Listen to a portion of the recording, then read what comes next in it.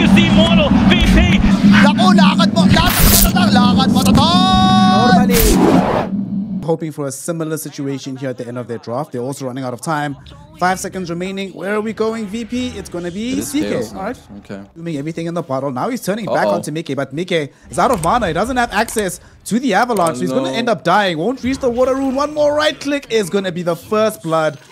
Oh my goodness. This is perfect. He gets not just the kill, he's going to refill the water rune. Has some changes to the spells, and now, of course, when you stack up the raises, turn rate slow, movement speed slow, I mean, you could see it there. It's deadly. You don't get to run away anymore. Top lane, Dakota in a bit of trouble. He's in a little bit of trouble. And once again, when I say trouble, I mean dead. dead. uh, enjoying life. Mid lane, we actually have a rotation coming in onto GPK. He's trying to make the dive aggressively onto Mickey. He gets tossed back. Nice toss. Not in range of the tower just yet, but there's going to come the charge onto GPK. Can he get Using himself out of here in time? He has access to razors very, very soon, but he decides not to go in for No charge through It's again. Magic missile. That No. crit nearly got the better of him as Mick is here. Okay, let's make the first big rotation of the map here. This is actually interesting because so far from what we've seen today, most of the movements middle haven't been coming until much later in the trying to surround him. Yamich will he be able to find the impale? He does. Hakoda looking for the magic missile. It does come out. GPK, does he have the burst? Couple more right clicks is all they need. He sticks up. Mike still alive. Here comes a charge from Boxi onto GPK. race. They finally get the kill, but Boxi now body blocking the SF, preventing him escaping. Hakoda throws in the magic missile. GPK on the high ground right now. He needs to get out of here. Sticks up. He's getting hit up by Insania. Will finally end up taking a tumble. And Matu's easing against Smoke Axe like this. Gets himself out of trouble. Unfortunately, though, Hakoda will not be able to do the same. Gets charged into. Magic missile will be there, but Mika comes in with the surge and the avalanche. There's no way this Venge can escape this. Uh, just gonna try and waste their time a little bit will end up dying still. But nonetheless, that's still four heroes that you commit to try and bring down Her Hakoda in the five position. I Fingers on the bulldoze there, applying himself with some side resistance. Mid lane charge. GPK gets connected onto Ramzes, comes in, gets off the Phantasm. It's going to be the first wall of replica of the game with the vacuum onto GPK.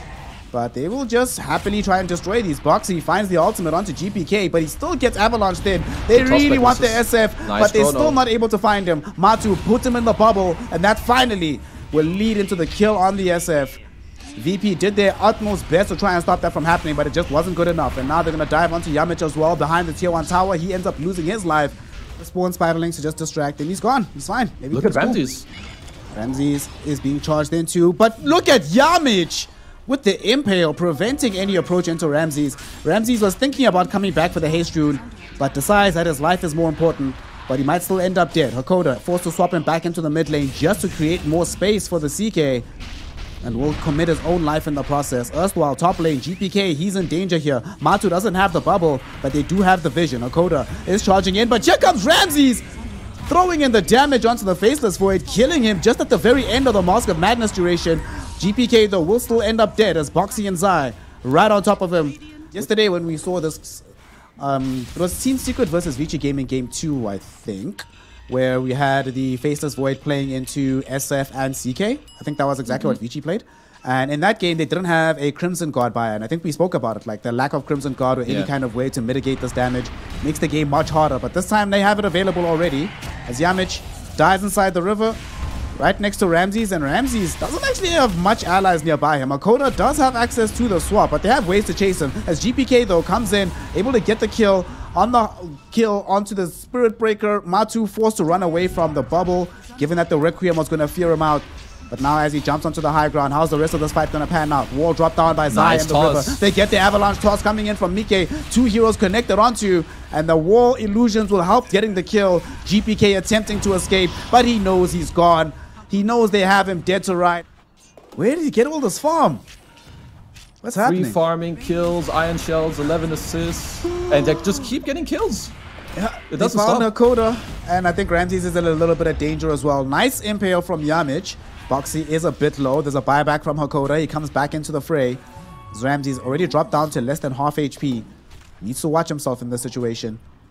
And like you say, they just don't stop. They just keep rolling. Aegis still for another two minutes is very, very dangerous. VP do not want to fight. Team Liquid recognize they don't want to fight, but we do. So they now smoke up. GPK, does he have Hakoda nearby? He does, but Yamich won't be so lucky. He already ended up with a death onto him. Ramzes goes in Nice with the ultimate, and there's the bubble. Hakoda will get the swap out, but they have the vision onto GPK as they're coming in with Boxi as well. In the meantime, though, Ramzes turning things around onto Zai, and with these illusions, able to kill him. GPK dies near the tier 2 tower, though, so they've gotten the primary target, but we'll see if Ramzes can try and clean this one up. Boxi fairly low on HP, gets off the ultimate, though, with the Nether Strike onto the CK, dragging the rest of VP further away from his own squad. He doesn't want them to play down here on the south, but now Mike jumps in on the north. Avalanche toss onto Ramzes. Not enough damage to really threaten him just yet, but Matu is delivering that damage. Matu will finally die. That's the first life committed from him. Once he comes back, he's waiting for Mickey to deliver him a juicy target. Yamich looks like he might be the one that will give up his life as a sacrifice, but Spiked Carapace all too good. Instead, it's DM. They go for the easier target. Not every day that the Spider is the easiest one to kill, but they haven't been able to kill him just yet. DM.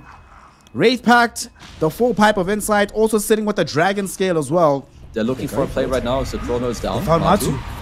This is actually a pretty big deal, but no, they don't get off the chain disabled. So he gets off his BKB, and now here's the vac wall. Hakoda pulled back into it. He's the first casualty of this fight. Ramzes will be able to kill Zai, though, but Boxi coming in for some revenge. Nether strike onto GPK. He's not allowed to escape the fight, so he's dead as well. Mike on another streak.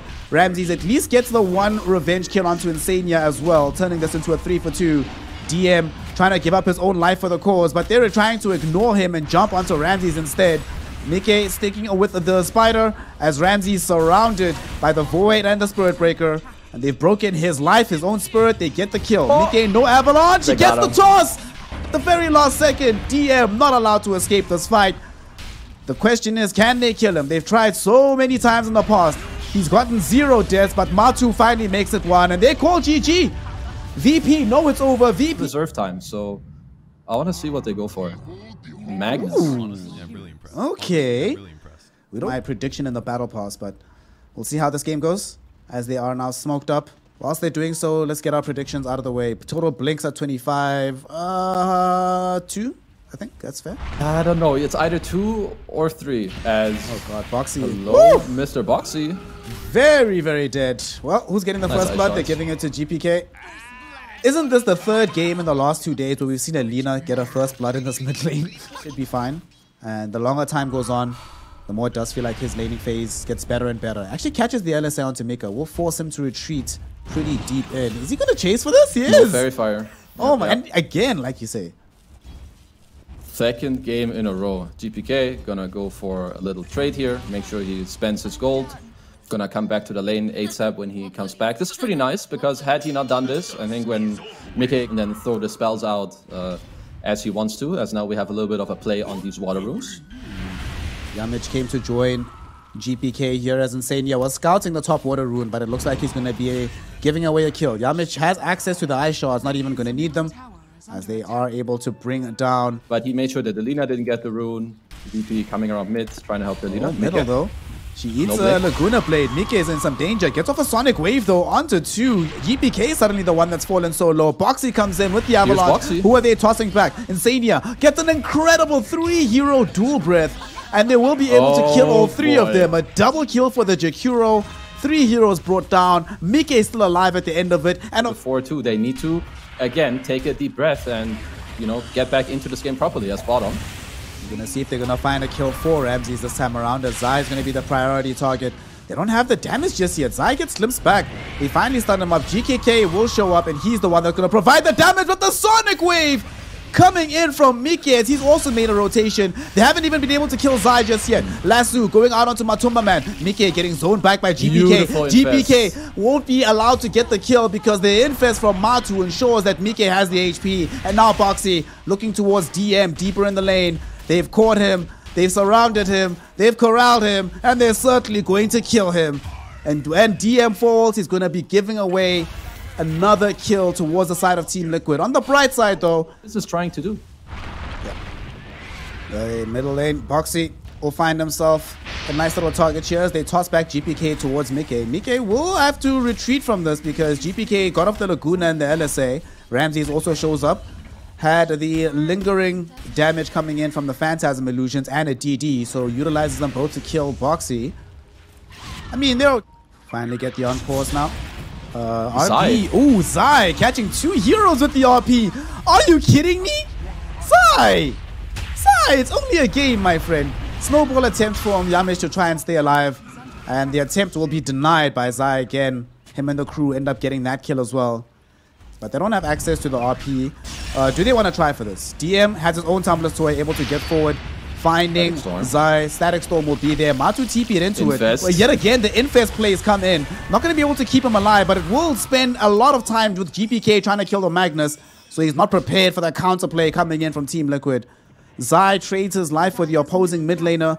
But as you've mentioned so many times, when you play Lina mid, Lina's the actual carry. So you've taken down their core. They're coming middle as well. They really want wanted Ramzes. They don't get you in time. But what a play! In the top side of the map, mid lane, the one to get caught instead will be Yamich, giving a killing spree towards Mike. Team Liquid playing some fair Dota. They're gonna Who's get gonna? GPK. GPK is the one. He gets off a BKB though. Glimpse back. Matu. Here comes Zai jumping in. RP and Matu. They kill him through the BKB Khezu. It doesn't matter to them. And now Ramzes doing his best to try and run away. Sonic Wave pushes him back into the ice path, in fact, and they'll be able to isolate him away from his illusions. Kill him as well. Boxi is the one credited with that one. And that's going to be a tier 2 tower falling shortly thereafter. Khezu, this is this is something else. Whether they'll get away with it, I don't know. They will still take Fight the might fight. still happen. Boxi looking like he wants to go in, able to get in onto the disruptor. In the meantime, RP went onto the Batrider. Sonic Wave does come across three heroes. There is a lasso onto the Matumba man, Lifestealer, and GPK turns onto him with the BKB, and they are able to kill him. Ramzes armlet toggling to victory as they are able to kill Zai. Ramzes does end up taking a tumble. GPK's first life is taken. Now they are trying to surround the stra- stragglers in this fight. Yamich, he gets taken out as well. Glimpse back from Insania, right next to Hakoda. The ice Boxi has a path new combo will not help to protect him, and they will be able to kill him. Boxi does have access to this new combo. He utilizes it to hold GPK in position, letting Mike get the cleanup. And now the only hero left to flee is Hakoda. He's been abandoned by DM. Mike gets a Drop the static storm on top of Nyx so that Zai cannot counterplay. We will see them trying to reveal said Blink Dagger right now. As you said, they want to try and make this uh, play as soon as humanly possible. They are going to jump onto the Jakiro. Nice Hakoda Static Storm here, allowing them to kill Insania first. However, Ramzes is very low. DM does get a lasso, but it's not going to help them too much as they have now lost Hakoda. Ramzes playing 1v1 versus Matumba Man as GPK ends up losing his life towards Mike on the back end of the fight. And Team Liquid, despite them being the ones that are surprised by this one, you know, as he ends up dying here in this mid lane. Hakoda did get a glimpse back onto Zai. Zai does throw out the RP. There's going to be a Chaos Ball being thrown in. Another save coming in from Matu, but it's not going to be good enough. GPK there with the Deso hits, and they're finally able to bring down Zai. Buyback was there from Oh, the Yamich, Glimmer. so they want to chase forward. Glimmer oh, Cape they see it. was supposed to protect Matu, but they still have the vision. They glimpse him back into the LSA. Do they have the damage Nice to kill him? Yes, they do. He's forced to buy a BKB, in fact. Insania drops an ice path to try and protect his allies as Boxi really wants Ramzes. Gonna get Ramzes! So even though he dies, it's like, well worth it at the end of the day. Insania also about to take a tumble. But getting Ramzes out of this, you pull that off. And now he's actually going top again. Boxi bringing in another passenger. Matu doesn't have a basher though. However, this BKB will not last forever. GPK needs to get out of this. He's been tossed back. He's been killed. Boxi is just on it today. As Matu able to trump down Yamich through his BKB. Thank you very much for buying the item, he thinks to himself. This is... Wow, okay. This is very, very disheartening that they can just jump you at any time. And now they've also jumped Ramzes. He doesn't have his BKB just yet. He's a hundred gold dead. shy of getting this Kezu. But now he's been reset even further away.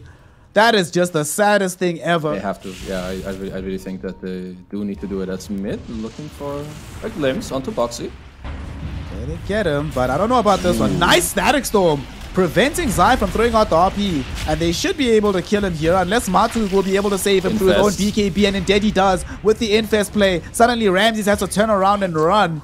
They're able to trump down Hakoda. Ramzes, can he juke Matu? No, he cannot. Here, deeper into the fight, DM also has his BKB, trying to TP himself away. But this time around, they have the Sonic Wave, and they will not allow him to escape. Yamich, nice snowball blink play deeper into the river, but Insania is there. Tumbler's Sway usage allows him to dodge the dual breath. So he's still alive for now. They pop drums though. They really want this kill. They will be able to find this chase. Boxi's on him with Mickey. And they give him a beyond godlike one that if it fails, you call GG. They know us It's up. the it's the pub smoke. The go smoke one time, then let in. Let's see, they end up losing Yamich first and foremost. Matu pops out, chomps down Hakoda, and now they turn their attention back onto Ramzes. He pops the BKB, but to what avail? Even Mike's right clicks are just way too much for him right now. And as he dies, north of the fight, we do see Zai. At the very least, he will fall to the right click damage of GPK, but now GPK no longer has a BKB, no longer has a life, and VP no longer have a say in this game as they call GG, throw in the towel, and grant Team Liquid the 2-0 victory and grant Team Liquid